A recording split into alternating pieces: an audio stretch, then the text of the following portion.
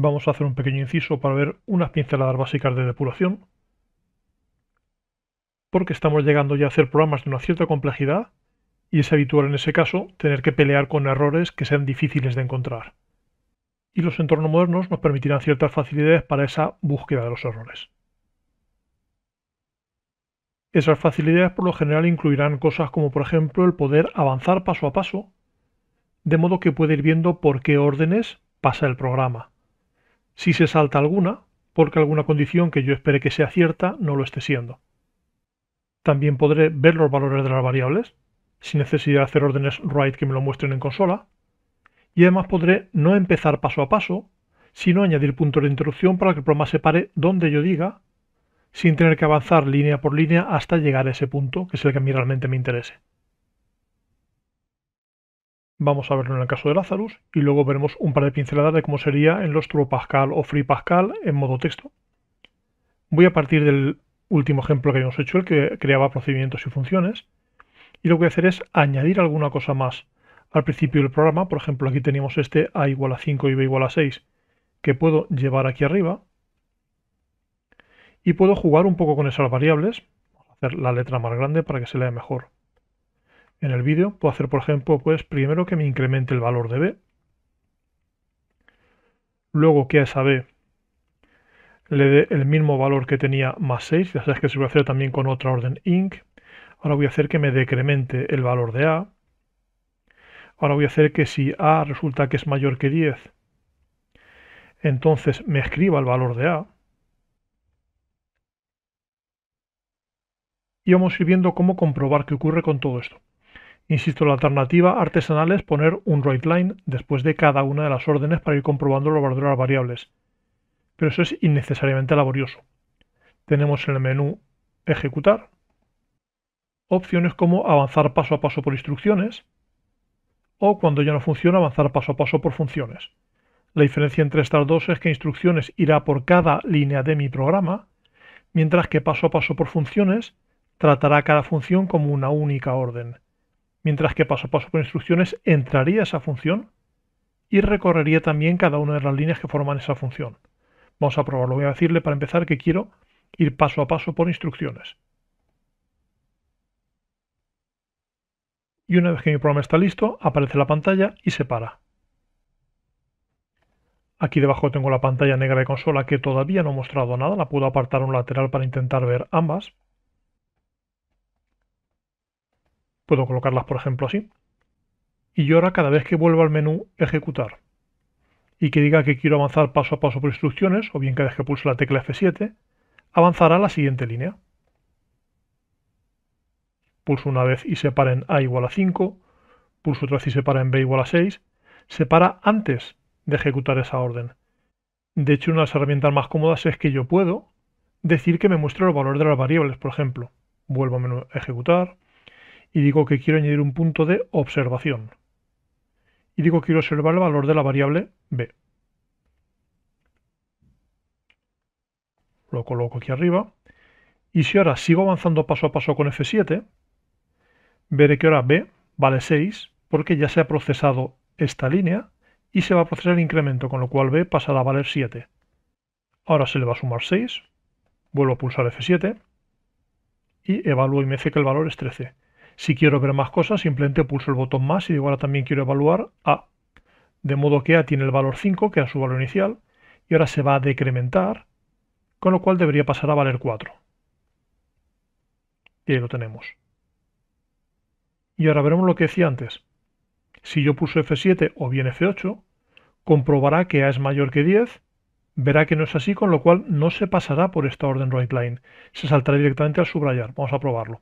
En esta ocasión voy a usar el, dentro del menú ejecutar, paso a paso por funciones, F8, para que cuando llegue a esta línea subrayar la trate como si fuera una única orden. Vuelvo aquí, pulso F8.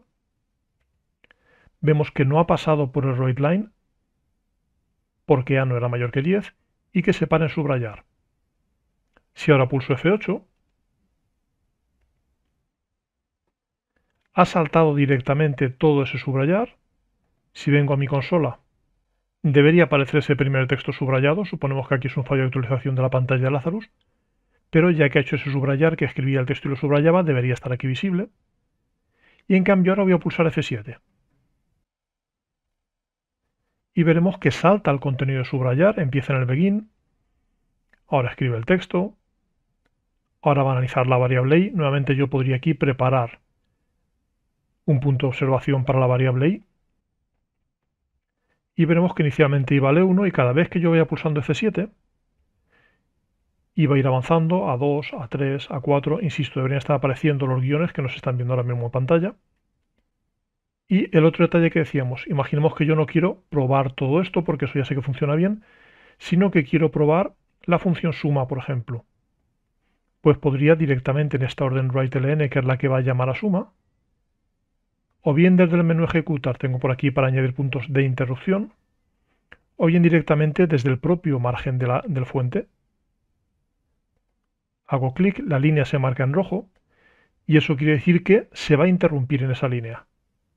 Si yo ahora vuelvo a ejecutar y le digo que siga, por ejemplo, con ejecutar hasta el cursor, va avanzando, se detiene mi punto de interrupción, verás que de hecho aquí me dice que no existe una i donde estoy yo ahora, y en este punto de interrupción yo podría, a partir de aquí, seguir paso a paso con F7 y ver cómo se ejecuta la función suma y seguir avanzando. De igual modo puedo poner otro punto de interrupción aquí, pulsar F9 para que siga, con lo cual esta línea se la saltará la ejecuta pero no se para en ella y se detiene en el siguiente punto de interrupción. Pues de esa manera yo puedo hacer que se pare en ciertos sitios, en los sitios en los que yo creo que puede haber problemas, y con F7 o con F8, según el caso, ir avanzando orden a orden, entrando o no entrando en las funciones. Y puedo añadir puntos de observación para comprobar los valores de las variables cuando lo necesite. Esto, por supuesto, será mucho, mucho más cómodo que el añadir órdenes writeLine en medio del código, que luego puedo olvidar borrar y que además es más trabajoso. En caso de que esté en el entorno en modo texto de Free Pascal, las opciones no se llaman exactamente igual, pero las ideas sí que son las mismas. Aquí tengo un menú que se llama Debug y en Debug puedo añadir un watch, add watch, añadir un punto de observación. Puedo añadir un breakpoint para que se interrumpa en cierta posición. Y desde el menú Room puedo o saltar por encima de las funciones con la tecla F8 igual que en Lazarus, o avanzar paso a paso por las líneas con F7. Insisto, mismas ideas, solo que los nombres que aparecen tanto en el menú Run como en el menú Debug son ligeramente distintos. Por ejemplo, yo podría situarme en la orden del case y decir en esta orden quiero añadir un punto de interrupción. O elijo esa opción del menú, pulso control F8, se me marca en rojo al igual que antes, y podría también añadir visualizaciones de variables, que decir, quiero añadir un watch que va a ser a la variable llamada día. Ahora mismo no sabe su valor, a medida que el programa avance me irá mostrando aquí abajo sus valores. Y en este caso podría decir quiero avanzar línea a línea con F7. Separa antes del write. Pulso F7 y escribe el texto dime un día. Escribo el día 5. Vuelvo a pulsar F7 para que lea ese día que yo teclee. Y se ha parado diciendo que la variable día vale 5. Y podría seguir nuevamente de aquí paso a paso con F7. Veo que salta directamente al caso 5. Insisto, nombres ligeramente distintos, las mismas ideas. En esta ocasión no vas a tener ningún ejercicio propuesto. Simplemente si quieres practica un poco el uso de estas herramientas con el entorno que tú utilizas.